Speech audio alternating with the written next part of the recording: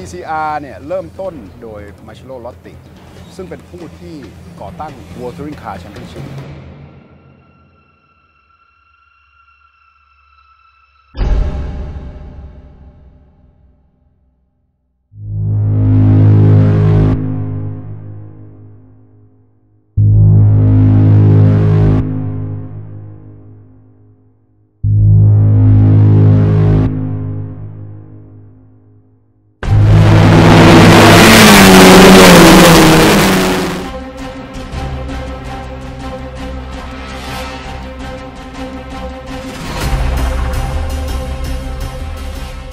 TCR เนี่ยก็คือ Touring Car 4 ประตู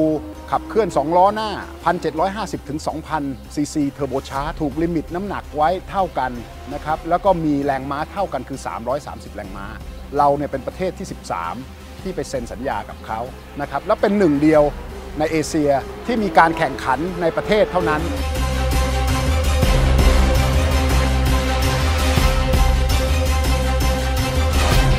TCR เป็นรถที่ทำมาจากโรงงานฮะซึ่งแต่ละคันก็จะไม่ค่อยมีความแตกต่างอะไรกันมากฮะมันจะชาเลนจ์ว่าตัวคนขับครับว่าใครจะมีฝีมือ หรือมีความสามารถมากกันครับ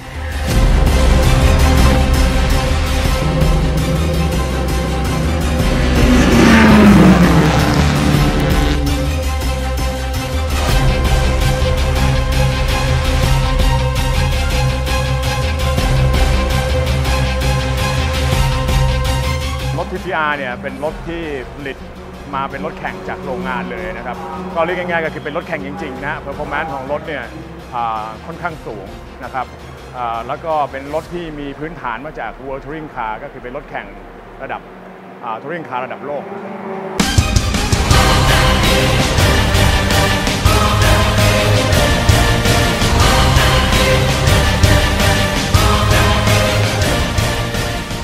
าใช้จ่ายการแข่งขันก็น่าจะคอนโทรลได้ง่ายกว่านะครับ แล้วก็เรื่องกติกาก็น่าจะไล่รถยนต์มันจะใกล้เคียงมากที่สุดนะครับ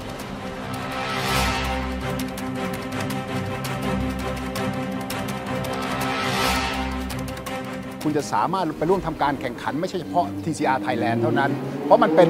รถที่เหมือนกันถูกอยู่ภายใต้การควบคุมของ homologation เดียวกัน